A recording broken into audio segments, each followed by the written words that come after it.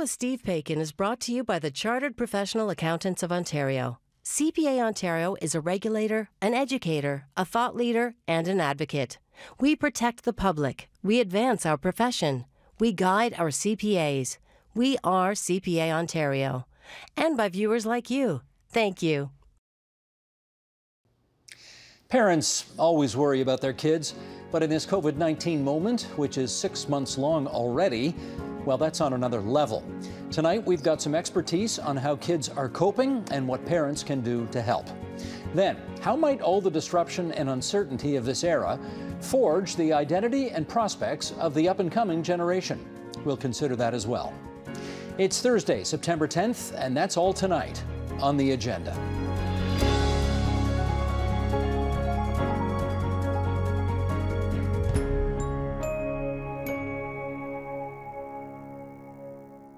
Ontario kids have been away from their classrooms, friends, extracurricular activities, camps, and the rest of it for months now. And with the new school year beginning and no vaccine yet, it's all becoming something like a new normal. Here to help us understand the emotional toll it's taking on children and youth, we welcome in Hamilton, Ontario, Dr. Andrea Gonzalez, Associate Professor of Psychiatry at McMaster University and the lead author of the Ontario Parent Survey. In the provincial capital, Dr. Ronald Cohn, President and CEO of the Hospital for Sick Children and a professor in pediatrics and molecular genetics at the University of Toronto. And Dr. Peter Szatmari, Chief of the Child and Youth Mental Health Collaborative between CAMH, that's the Center for Addiction and Mental Health, Sick Kids, and the U of T. And we are delighted to welcome you three to TVO tonight for an important conversation on just how well the kids are doing. All of your institutions, of course, immediately launched big research projects to study the effects of this pandemic and lockdown on kids' mental health. And so we want to get a better understanding over the next half hour or so of how much impact this is having in the life of a kid. Andrea, you, um, well, you've got the Ontario Parent Survey going. How big is it? Who's been taking it? Fill us in on some of those details, if you would. Yeah, thank you, Steve. So this was a web-based uh, crowdsourcing survey that was launched at the beginning of May until mid-June to caregivers of children ages 0 to 17, and we offered it in both uh, English and French. Um, and we ended up getting an, an, amazing response, largely thanks to our partners, because this was shared widely through public health units and child and youth mental health agencies and various school boards across the province. And we ended up with over 7,000 caregivers who responded to the survey that represents over 14,000 uh, children in Ontario. And uh, I, I don't know the demographics of this, but is that an adequate number to give you a very good understanding of the way things are out there? It's a province, after all, of 14 million people, so how do the numbers stack up? Yeah, I think I think it does give us a good um, idea. It was a lot more than we were expecting to actually get. I think one of the sort of caveats to go along with this type of survey is because it was a crowdsourcing survey, so it was um, anybody who decided to fill out the survey online. It's not necessarily representative of the general population, but it still uh, represents a large number of caregivers, I think, and, and children in Ontario. Well, let's put one graphic up here and share a couple of the numbers that you got from the survey. Sheldon, I'm on the top of page two here. Graphic number one, thank you. There we go. 40% uh, of caregivers reported deterioration in their children's behavior or mood, and 32% reported needing assistance with their children's behavior and or mood during the pandemic. Uh, was there any elaboration on that, uh, Andrea? Let's start there. Yeah, so we um, we didn't ask really specific questions about the individual child. We were asking more about were there social emotional difficulties, behavioral problems, or learning difficulties um, that the children had within the last six months. And then we also asked a question about really any child. Uh, well, they could list any of their six children, up to six children, and whether or not the child's or children's behavior had changed uh, and mood had changed since the start of the pandemic. And the options were that it had improved or had stayed the same or was worse off. And it was about 40% uh, of caregivers that were indicating that there was the, the children were actually worse off since the pandemic started in terms of their behavior and mood. Dr. Ronald Cohn, I, I, I, guess I should ask you off the top what I should call you because, um, you know, when you appear on TVO Kids, you're Dr. Ronnie, but this is not a TVO Kids show. So uh, should I just call you Ronald or Dr. Cohn, or what do you want me to call you?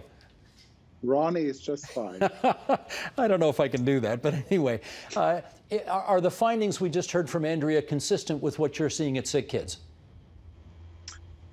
Yes, it is confirming some of our preliminary findings we have seen, and it's also in line with the Children Mental Health Ontario survey that has found similar numbers. And it's really pointing towards that ch- children, by and large, have been the unheard voices of this pandemic, and that we need to be careful not to significantly underestimate the impact this has on children, really of all socioeconomic uh, classes, but particularly the ones who are coming from the vulnerable living and family conditions.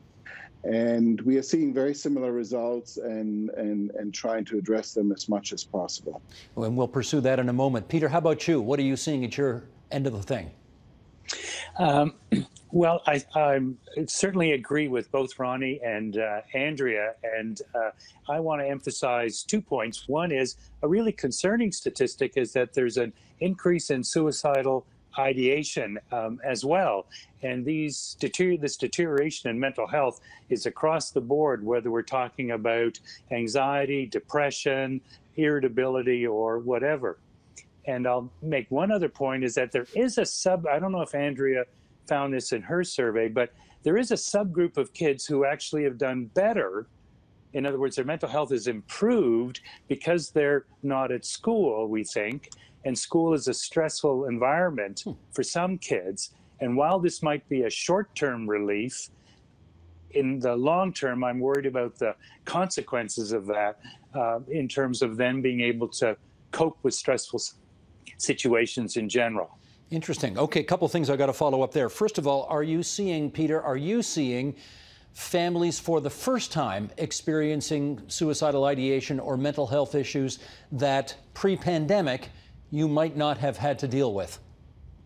So, in a word, yes, although I'll qualify it that the quality of the data aren't great because we don't have pre pandemic surveys as of yet. We should hopefully. But yes, parents and kids are reporting uh, sort of new onset of mental health distress, including suicidal ideation.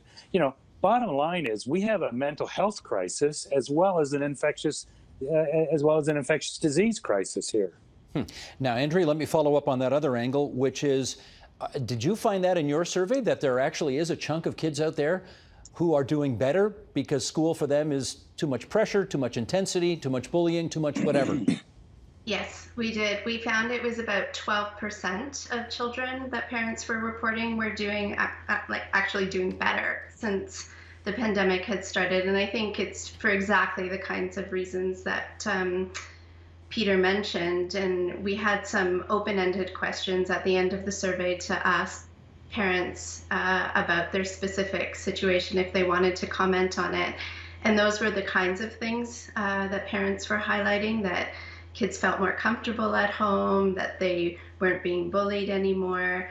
Um, but it, it's still a, a, relatively small proportion. And, and similar to what, what Peter was mentioning, it, it's a concern when they do transition back, especially after having been off school for six months. So Ronald, would you anticipate that that is only short term better? Because, I mean, at the end of the day, kids are going to have to go back to school. So is that short term better or maybe long term better? No, I think this is really a short term effect we are seeing. And if you really think about that children have been isolated for six months, it's going to it's actually going to be a challenge for all the children to get back into a routine. And even though a, minority of children have done maybe better without uh, the stress in school. Just imagine if there would be isolated for months and months and months. Uh, reintegration into social behavior, into interactions would be exponentially more challenging. Hmm. Let's do a few more results here from the Ontario Parent Survey. Sheldon, uh, page three, graphic number two. Thank you. There we go. Caregivers reported high levels of concern for the following uh, nearly half managing their children's remote learning. Oh, yeah. Uh, more than half managing screen time which is a perpetual problem regardless of pre or post pandemic. Uh, almost half managing their child's anxiety and stress. About a third managing their child's behavior, and again, almost half maintaining household routines, organization, and meals.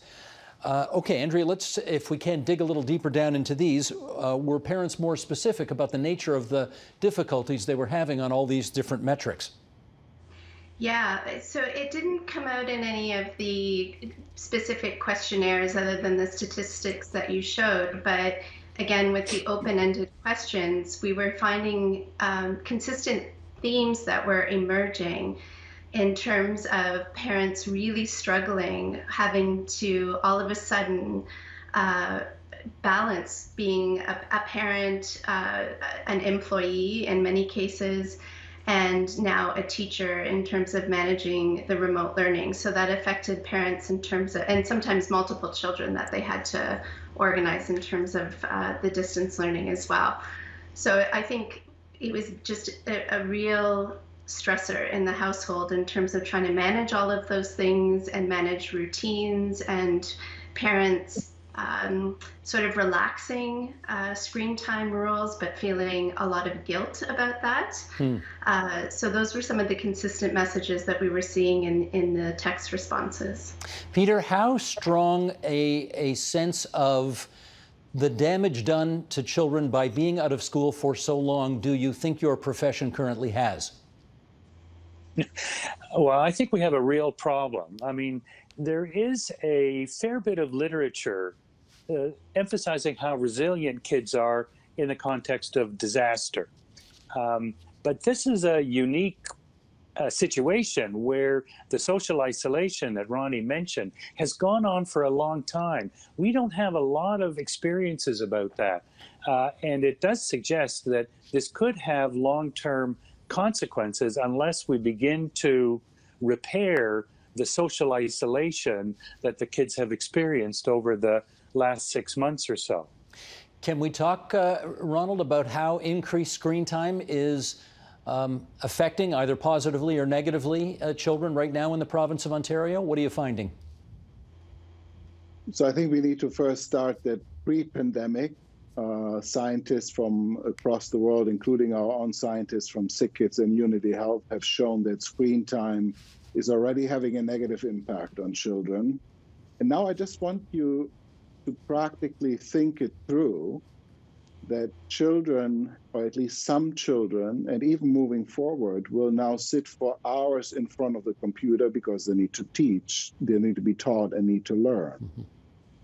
And if they then keep isolated from their friends, their only way to interact with them is through either social media and FaceTime or the phone. So we are dealing again with screen time. So we are now looking at a number of children who may sit in front of any type of screen for six to eight hours per day. So we are just exponentially accelerating and increasing the problem that we already had with screen time before the pandemic started. Could I get you then, Ronald, to offer the parents who are watching this some advice? Because, of course, at some point over the last few weeks, every parent had to indicate to his or her school board, uh, my kid is going to go back or my kid is not going to go back. Uh, all things being equal, if you're reasonably assured that school is a pandemically safe place to be, is there any question but that the kids should be going back? I think by and large, I would say kids should be going back to school, but it is at the end of the day a very individual decision. Every family has to look what their school is able to put in place in terms of the bundled uh, measures in order to uh, mitigate risk from infection as much as possible and also look at their own family situation as, as much as possible. By and large, I think if parents can get comfortable with the idea of sending their children back to school, then that should be a priority. but there's so many other measures that come into place here that generally recommending this without an individual approach uh, would be the wrong. Hmm. Andrea, we, we, have sort of been focusing on right now uh, children missing their friends as uh, you know the biggest problem that they're dealing with right now. But of course, the the isolation during this pandemic uh, goes well beyond friends. Um, grandparents, for example, or older relatives are people, or, or friends of parents, for example, uh, who might have been a part of kids' lives, are are probably not now because of the pandemic. And can you help us understand how that might be affecting young people today? Yeah, we did um, look at whether or not certain households were multi generational households because um, we had some of that data in terms of household composition, and we didn't find really any differences in terms of that. But again, with some of the text responses, a very consistent theme that was coming out was separation from family and isolation from uh, other extended family members and the impact not only on the child but on the caregivers themselves and losing all the community support so losing school and other supports in the community but also losing that contact and support from extended family members that also might provide some caregiving relief um, was a, a, consistent message that came out uh, with the survey as well. So, as much as kids may complain about going to visit their grandparents, they actually do miss them when they can't see them? I think so. Absolutely. It's the, yeah. Good it's to the know. Same with, it's the same with school. They complain about school, but now they miss school. Interesting. Okay, let's um, Sheldon. Let's go to graphic three here, if we can, because we're going to um, we're going to show some more results from the uh, Ontario Parent Survey. Uh, this is not just on the kids, but on the on the parents of the kids. 34% reported some loss of income. 46% reported that a household member had applied for financial help offered by the federal or provincial government. Uh, so that's a lot of people, obviously, covered off during the course of this pandemic. And let's go to the next one, graphic four. 57% of caregivers met the criteria for depression. 57% and 30% of caregivers reported moderate to high levels of anxiety. Okay, let's get into this. Uh, Ronald Cohn, how does this affect children? So, thank you actually for sharing and showing these data because I think it tells us that children don't live in their own isolation. They're obviously part of the whole family.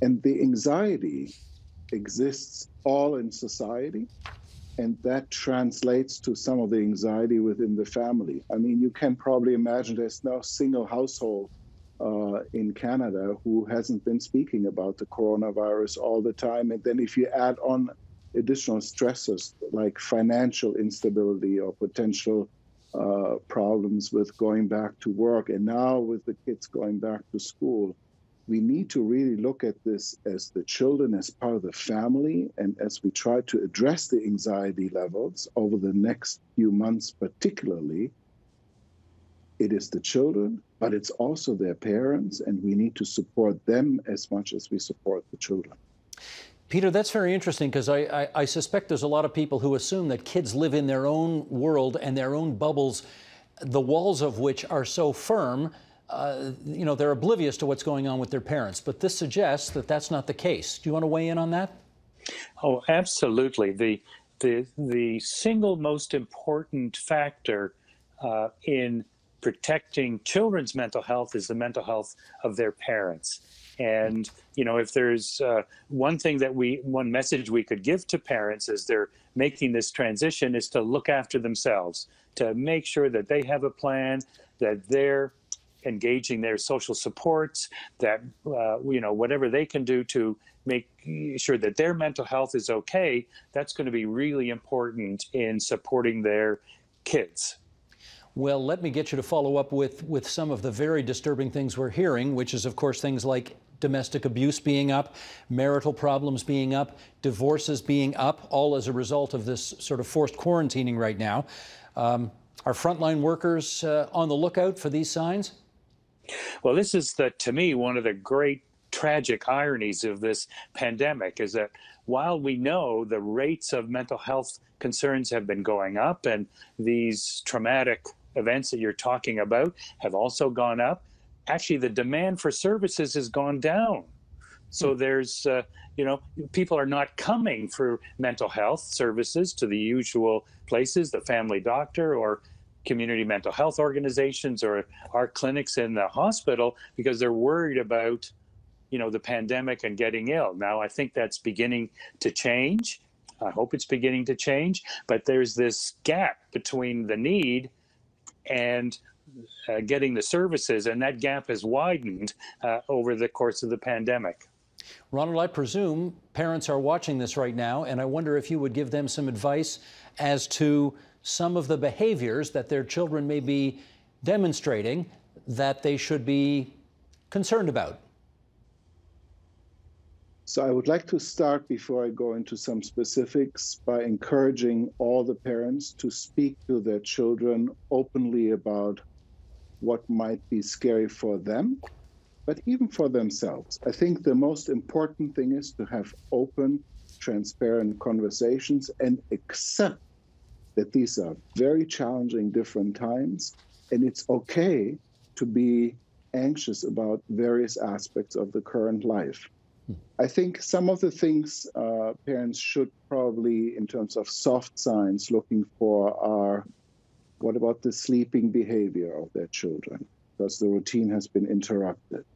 What are around irritability patterns, patterns of sadness and, and, and frustrations, things that are, are not as obvious uh, of a problem, but if they are either in isolation or together uh, uh, become apparent in your child, then I think that's the time where you really need to focus on your child, try to find out what might be going on in terms of what is your child worried about? Is it something about school? Is it something from your home? Is it about the family, the grandparents? So some of these soft signs, uh, I would ask parents to be a little bit more alert about than usual. Well, can I do a quick follow up on that? Because, and I'm really not trying to be a smart aleck here, but but. Um, you know, every teenager fights with his or her parents. Every teenager gets irritable. Every teenager, at some point, almost everyone, skips school or gets in trouble at school or makes their parents crazy about something.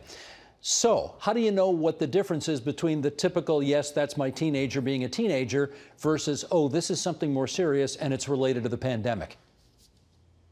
So, obviously, it's very different. There is no uh, black and white answer to this. But I do think that what parents have described to us through surveys and even in, in, in our conversations with parents is that some of the behaviors uh, have changed a little bit. So I don't think you would necessarily expect your child or your teenager to have the typical rebellion, uh, antagonistic behavior, but show other forms of uh, irritability, maybe being less patient around things that they usually have been patient with. So I think while there is no black and white answer, but I think as parents, you know your children and you see that something might be just a little different hmm. than it was before. Hmm.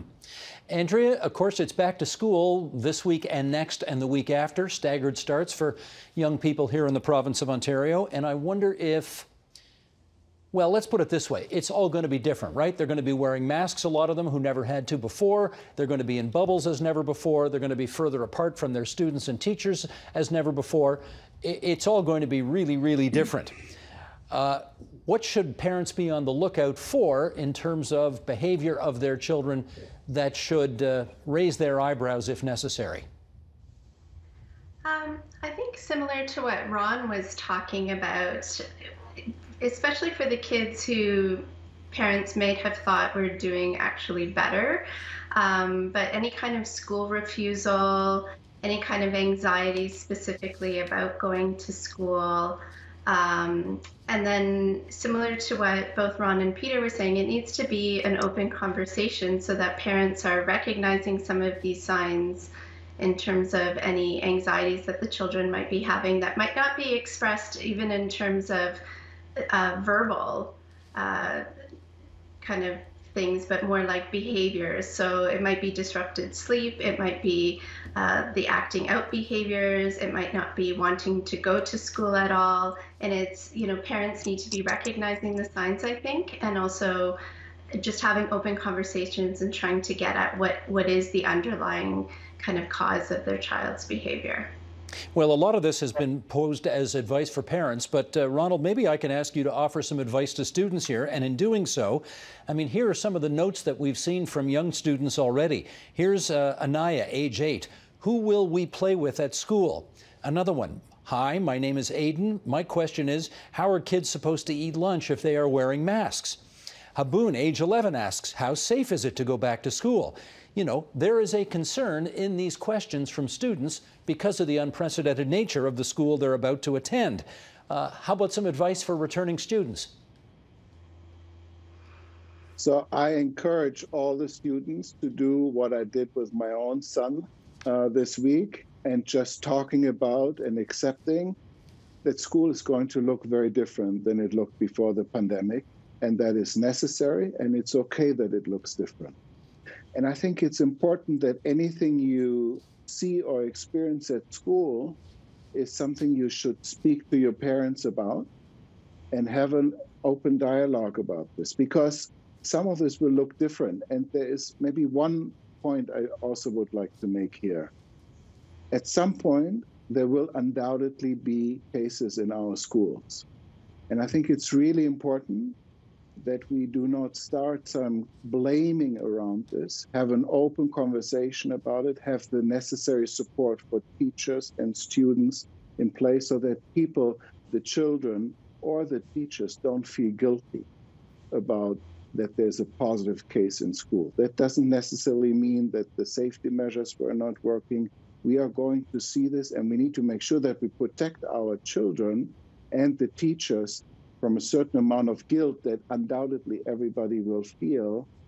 But it's okay that that will happen, and we will have the public health measures in place to keep everyone as safe as possible. And the last comment I'm quickly make is I'm trying to reassure all the children from a children's perspective. By and large, COVID 19 does not make children very, very sick. Only a very, very small number of children get really sick from this, mm-hmm. which is also reassuring for the children. Yeah, Peter, could you follow up on that? Because because to be sure, there will be COVID 19 cases in schools at some point. We're not going to have perfection here. And when that happens, how should children react? Um, they should talk to their teachers um, and find out you know, what does this mean? That teachers should be very much engaged in a conversation about uh, the pandemic and um, illness. And if one of their uh, classmates gets ill, for example, you know, they should try and connect with him or her on social media or in other ways. Keep the keep the routine about school going as much as possible. Send homework, etc. Try and normalize it as much as as uh, possible because, as Ronnie says, the severity of the illness is going to be minimal um, in, uh, in most cases. Andrea, I'd like to ask you about bullies. Bullies exploit everything to bully.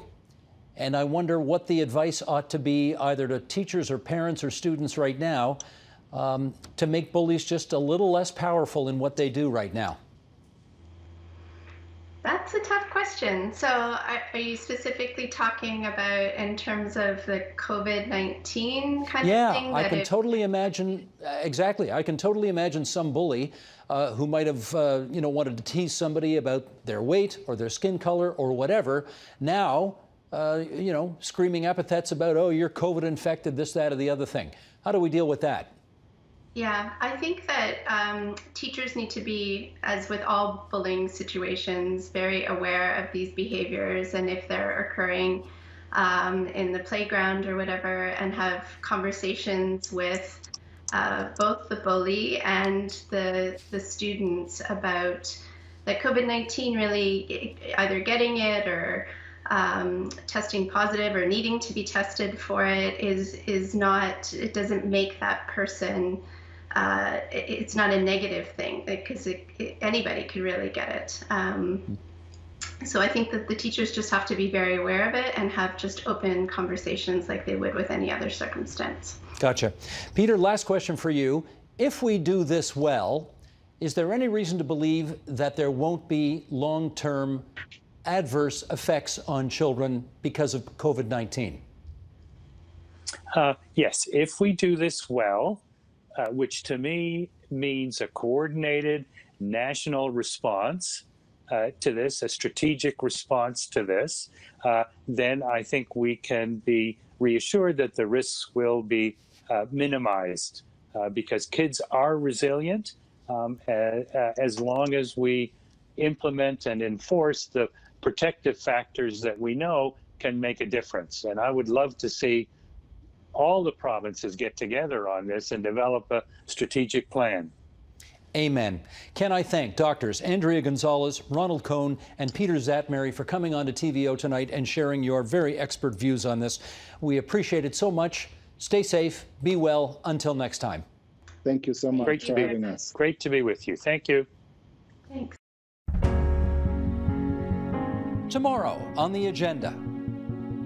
No one is a perfect figure. I'm a politician that's going to be asking people to back me for prime minister. I'm not perfect, even. I'm always trying to be ethical and to do my best.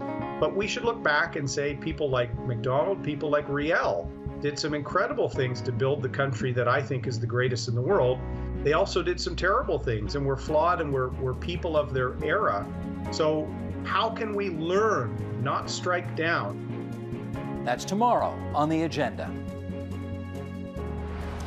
Generations rarely get to choose what defines them. War, economic collapse, natural disasters have all interceded to shape past cohorts. It's hard to imagine that the arrival of COVID 19 isn't poised to do the same for the generation just coming up and perhaps others too. But let's put that to some folks who've been thinking about it. In Bouchette, Quebec, Joel Westheimer, University Research Chair in Democracy and Education at the University of Ottawa. In Peterborough, Ontario, Madeline Barbarian, a fourth year student at Trent University and a fellow at Future Majority, a nonpartisan organization devoted to youth and political action. And here in the provincial capital, Richard Worzel, futurist and financial analyst with his company, Future Search. And it's great to welcome you three onto TVO tonight uh, for, uh, I would suggest, an important and timely conversation. Richard, explain to us uh, off the top, if you would, how important is the society young people come of age in when it comes to shaping them and their futures? Well, if you look and look backwards for a moment, as to look for an analogy, my parents' generation, the so-called greatest generation, lived through. My parents grew up uh, in the Depression and lived through World War II, and it changed and shaped and marked them for the rest of their lives. When my mother died, my father died first. When my mother died, and we were cleaning out her apartment, we found old batteries that weren't she hadn't thrown away. We found sheets that had holes in them. We found I mean, all sorts of leftover things that she just didn't throw away, neither she nor my father. Uh, and it was very clear that it was because they had lived through such extreme times when things were hard to come by. So it it is obvious that the circumstances in which you emerge, in which you grow, in which you develop, um, uh, affect you for the rest of your life. They pattern you. They they put their stamp on you. And I think that that's going to happen with the current generation as well. Richard, I'm just uh, uh, uh follow up on this, if you would. I'm trying to imagine, you know, if you're in your mid 20s right now, you've lived in the aftermath of 9 11, you've experienced the Great Recession, and now here we are, the coronavirus.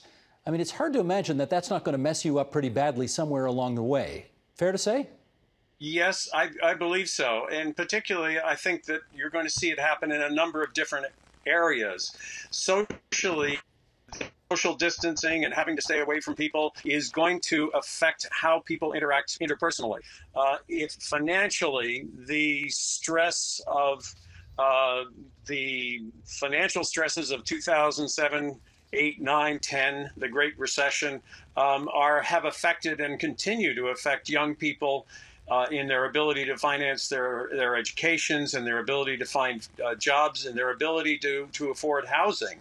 Um, so, and the the 9/11 aspect has changed the way we look at the world. We don't feel quite as comfortable uh, with the the outside anymore. We're not quite as easy peasy about it. So, yes, I think that all of those things are going to affect um, young people on a number of different levels. And add to that the economic and financial consequences of COVID, and you've got uh, the makings of a major, major uh, uh, impact on the younger people of today. Well, Richard just referred to the greatest generation. We know, of course, of Gen X, Gen Z. The Atlantic magazine has just written a piece about something called Generation C for coronavirus. And let me read an excerpt of that as we set up the next part of our discussion. Kids, college students, and those in their first post graduation jobs are also uniquely vulnerable to short term catastrophe. Recent history tells us that the people in this group could see their careers derailed, finances shattered, and social lives upended. Predicting the future is a fool's errand, even when the world isn't weathering what looks to be an epoch defining calamity but in the disasters of the past lie clues that can begin to answer a question vital to the lives of millions of Americans.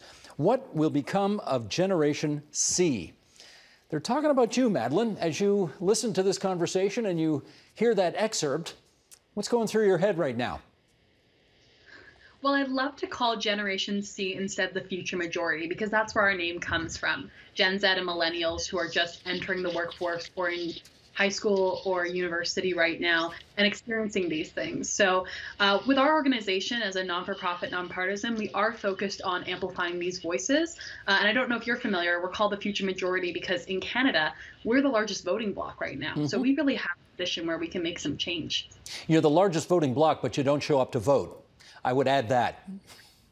Uh, in the last two elections, actually, 55% of young people showed up to vote, and that's actually a record turnout for you. It, it may be a record, but I think probably 75 or 80% of seniors do. So they're.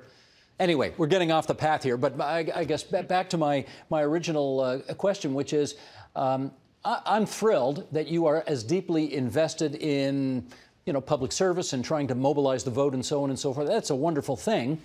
Do you have your days where you are really waylaid by the fact that in your relatively short life, uh, this is kind of cr- massive crisis number three that your generation is having to deal with?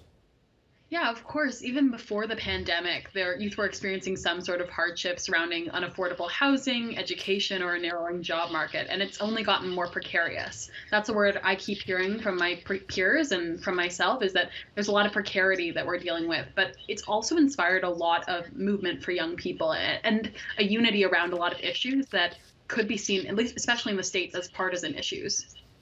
Joel, as you consider what is going to happen to what the Atlantic is calling Generation C for coronavirus. What goes through your head? I think there's three things to consider, Steve. Um, first of all, we have to remember that that uh, your generation, my generation, Richard's generation, lived in a kind of uniquely a peaceful moment. I mean, we had to deal with uh, the threat of nuclear war and things like that, but we never had war on our soil. And so there is going to be a, a, certain resilience, I think, as well to the generation. But it's definitely going to have an impact. And I agree with Richard um, on that. And, um, you know, the second thing is that the pandemic serves as like a, an x ray for society. So it reveals all the fault lines that we have already in place in society, um, but they're now now exaggerated and they're made visible. So we have uh, economic inequality, and that comes out during the pandemic in the form of kids not having access to the internet or not having um, the, the same kind of schooling as other kids. Um, we have these fault lines, and they get exaggerated and they get made visible. These were uh, problems in our society that were there before the pandemic. Um, they're ones that are here during the pandemic, and if we don't do things to get rid of them, they're going to be problems that are here uh, after the pandemic. Um, so I think that when we think about uh, what the impact of this on generations is, we have to think of both those two things. But we also have the fact that uh, we remember that, and you alluded to this, Steve, uh, that for for this for young people, this is an enormously long period of time, right? If we can think back what what eight months was in our lives at 15, 16, 17, 18 years old, it's a it's an enormous amount of time, and so it is going to have a major shaping impact on the way they see the world. A major shaping impact, but something that um, I don't know. They they can pass through, they can get over, or, or, or may be hobbled by it for the rest of their lives? How do you see it? I think that for a large number of youth, there's going to be a certain amount of resilience. I mean, people do bounce back from things. It's going to shape the way they see the stability in the world and other things, but they are going to move on. For others, because of um, growing inequality, and we also now see the the Black Lives Matter movement. There's there's a, rampant amount of inequality in society, and it's been accelerating. Um, for some youth, there's going to be more damage than for others. Madeline, um, I want to take advantage of the fact that I know your dad a little bit, and I'm trying to imagine the conversations you might have with him that might go something like, Listen, kid, I grew up in the height of the Cold War when there were 30,000 nuclear weapons poised at each other from the Soviet Union and the United States, and we all got through it, and everything's going to be fine. And if he says that to you, I wonder what you come back with. Is that a direct quote? Did you, did you tell you um, I may be projecting a bit there, but but uh, you know he's around the same age as me, and and and uh, and and that probably you know that's something that probably has occurred to him at some point. I think there's definitely an idea of um, resiliency in past generations, but I also think there's a resiliency in this generation. I also like to tackle the idea of like the idea that we're not political because uh, the Samara Center for Democracy Research talked about how young people today have been more involved in talking about politics with each other and also more involved in going to protests than generations in the past. I know that Joel mentioned the Black Lives Matter movement, and I think we're realistic about our future. We, we wouldn't be sitting here having this conversation right now if adulthood was easy to understand for my generation. But I also think this kind of precarity we're in breeds um, a necessity that also breeds innovation and progress. And that's an inspiring message for a lot of young people at Future Majority, we're trying to shape that narrative and make this uh, an opportunity to move forward better as opposed to a position of fear for our generation. No, that's a fair point. Uh, young people uh, are, are, surely politically active today, but not necessarily in a partisan sense. And I guess I wonder do, do you want, would you like to see your generation, as it winds its way through all of these challenges, would you like to see them more active in partisan politics uh, or, or just be sort of politically aware? I think that there are issues across party lines that all young people, at least that we've been speaking to, value. So the issue of access to education is huge affordable housing, racial justice, environmental justice in our country, and then access to mental health care. These are platforms we've been discussing with young people over the past year that our organization has been working, uh, and they're completely nonpartisan. I think that's a wonderful thing about our country is that we can move forward on these issues, um, especially with a minority government where cooperation is super important uh, as a whole country as opposed to bipartisanly. Hmm. Richard, as you consider what advice you might want to offer this generation, ba based not only on your years of experience, but also your um, you know, your professional interest in sort of uh, divining where things are going. What would you say to Madeline? Well, it's almost hard to know where to start. There are so many issues on the table. First of all, on an individual basis, they're going. Their biggest issue is going to be: Can I find a job? Can I make a future for myself? Can I afford housing? Can I afford a family? In that area, I think the kind of advice that I would give Madeline and her cohort is you had better plan on being an entrepreneur because nobody else is going to manage your your career. You would whether you sign your own paycheck as a business owner or somebody else signs your paycheck because you work for them, you had better plan on behaving as if you worked for yourself and was con- were constantly reinventing yourself. From the point of view of environmental issues, uh, the real issue is not getting young people to be aware of the environmental concerns, but it's to get my generation aware and active in environmental concerns because we have largely sloughed it off. We have been remiss in our own responsibilities. In the economics sector, again, it's a matter of not just awareness but also action. And it's it's again not so much her generation as it is the older generations that they have uh, we have to become more active in um, in overcoming social inequality. Uh, we have been remarkably selfish. Uh, I, earlier, I talked about the greatest generation, uh, which was my parents' generation. My generation, I've actually described as the greediest generation because we have taken well beyond what we have given back. And it is going to affect Madeline and her uh, peers and the generations before and after. So, I mean, that's kind of a lot to unload in, in one, one, one shot. But I feel that, that uh, there is, they have the resilience, they are bright, they are capable, they're interested, they are involved. but they've got a lot of obstacles to overcome, a lot of which we have put in their way. Madeline, what's your reaction to that advice? Uh, I think it's very good advice. Uh, we're also trying to do that with our group by legitimizing ourselves to politicians. So a lot of politicians are in that older generation, and so um, right now we're actually organizing 16 digital town halls across the most competitive ridings in Ontario to talk about a just and green future moving forward. We've heard this mentioned by the Minister of Finance that that recovery will be just and green so both focusing on jobs and on climate. So we're trying to make sure young people's voices on this, because we're all pretty uh, in favor of that, are heard by politicians and, and older generations. Programs like this are part of that. Hmm. Joel, I want to tap into your um, knowledge of this generation by virtue of the fact that you teach many of them. And uh, I think you're also a parent to some Gen Zs as well. So you've got uh, double the reasons for uh, insight into this next question. Um, the way they have been raised by their parents, uh, is that going to be helpful or harmful to them as they try to wend their way through this time? Yeah, I mean, there's a lot of hand wringing about helicopter parenting, about bubble wrapping kids, and whether that makes them less resilient in the face of these kind of crises. When we see a young woman like Madeline, of course, there's uh, you know tons of room for for good hope. But this generation is facing something that uh, that has nothing to do with the pandemic, um, which is a, a growing sense of alienation. Right? We have more kids who are on medication who feel uh, that they don't have close friendships, who feel that uh, they they aren't forming um, close relationships. Uh, that's probably partly due to social media and so on. It doesn't mean all kids are like that, but we do have an epidemic, not just among youth, but among adults too, of a kind of alienation and a search for meaning.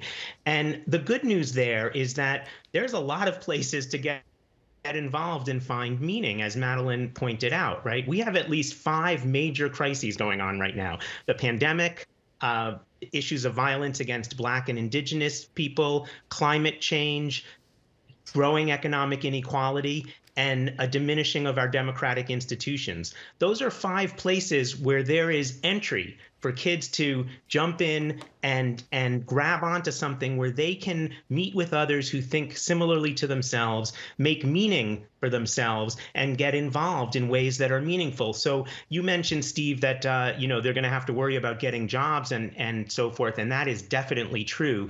But they also, and I think they know this, have to worry about finding work that is meaningful, where they can contribute something to society. And there is a lot of room right now for people to do that. And that's, I think, the hopeful silver lining here.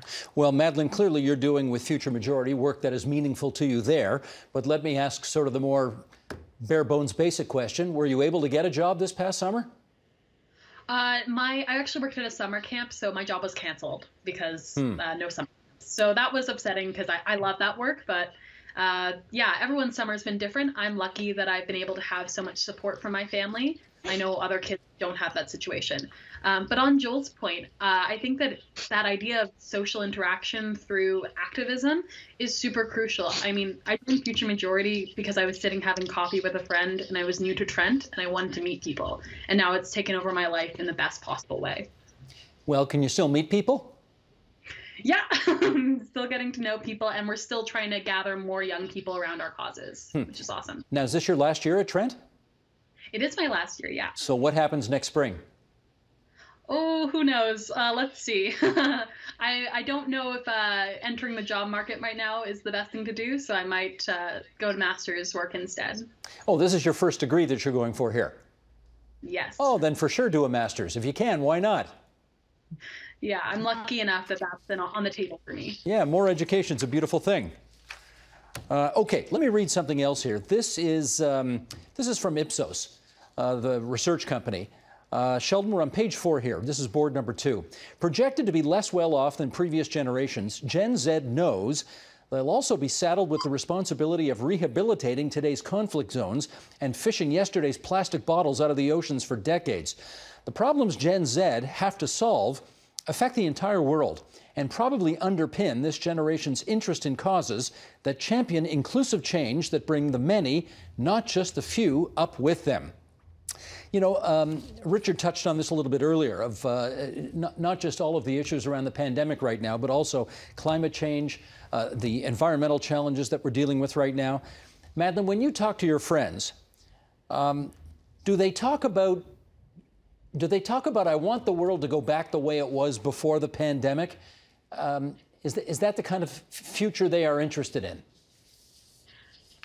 Think so. Uh, it's uh, it's about building back better, and I know that I know that's been said by a lot of politicians, but it's also something that's being echoed by my friends. Uh, there wasn't really a future that was good for young people before the pandemic. Um, we've talked about economic crises, the environmental issues, and racial justice in Canada. That was all a problem before this. And so we're hoping that this is a, a moment where we can really galvanize people around like the opportunity to build back and building back something that's better than it was before.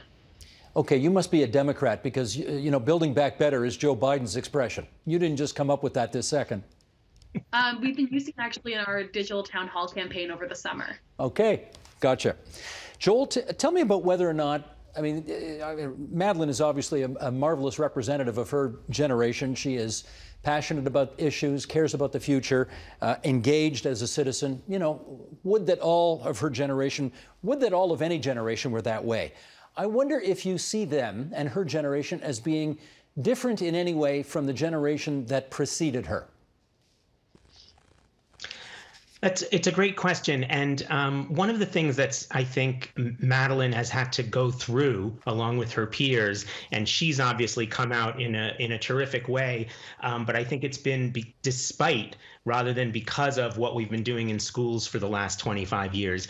Because schooling, which used to focus on, um, in some ways, at least the ideal of creating democratic and participatory citizens you know citizens who can get involved and and uh, do it of course we always wanted kids to be able to get a good job and support their families but what's happened over the last 25 years is we've narrowed the curriculum in schools um, to focus on standardized testing in math and literacy alone other subjects have been pushed to the sideline social studies history science arts theater, uh, you know, sports, extracurriculars.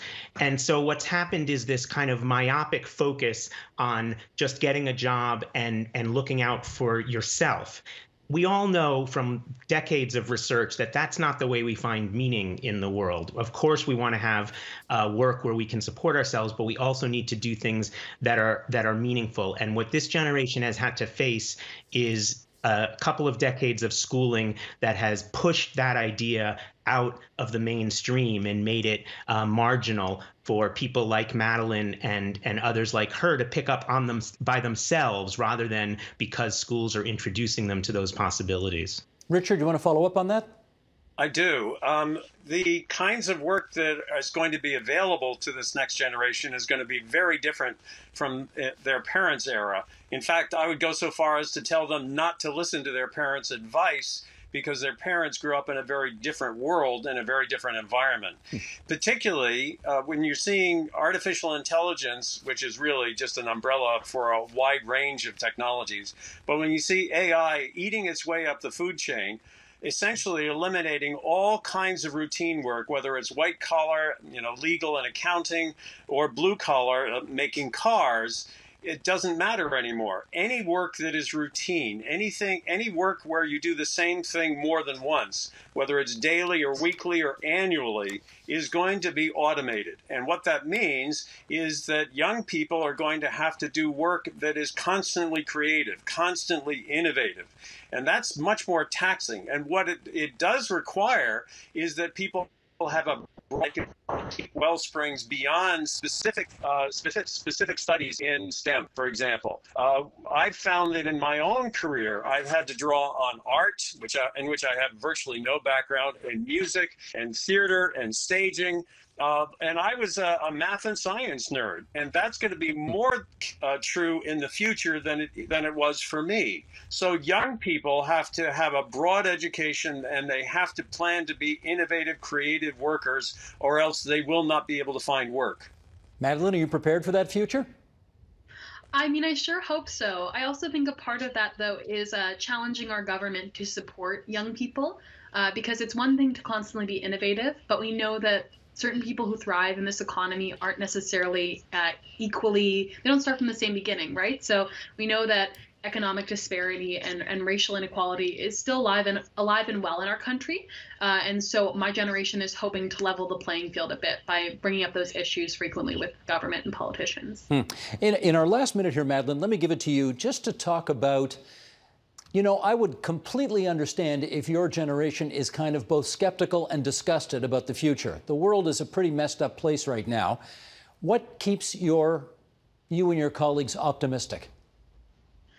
Uh, I think remembering, at least in our country, that we are the largest voting bloc and that we really do have a sense of power, both at the grassroots level and at the more political mainstream level. At least that's the narrative I always try to bring with the people I talk to is, is you have power. Because you can feel pretty helpless at a time like this when certain. But we do have an impact on how we move forward. And I like reminding myself and other people that, uh, the other young people, that we matter and our voices matter. They do, but you got to mobilize them. Definitely, yeah. that is the challenge. Hey, I want to thank the three of you for coming on to TVO tonight. That was a splendid discussion. Richard Worzel, Madeline Barbarian, uh, in, in whom I feel very confident about our future, and Joel Westheimer. It's good of all of you to join us here on TVO tonight. Thanks so much. Thank you. Our Thanks pleasure. for having us, Steve. Yeah. And that is and that is the agenda for Thursday, September 10th, 2020. Erin O'Toole won the Conservative Party's top job this summer, making him the new leader of Canada's official opposition. He joins us tomorrow to explain his vision for the party, for the country, and maybe about a fall election. I'm Steve Paikin. Thanks for watching TVO, for joining us online at tvo.org, and we'll see you again tomorrow.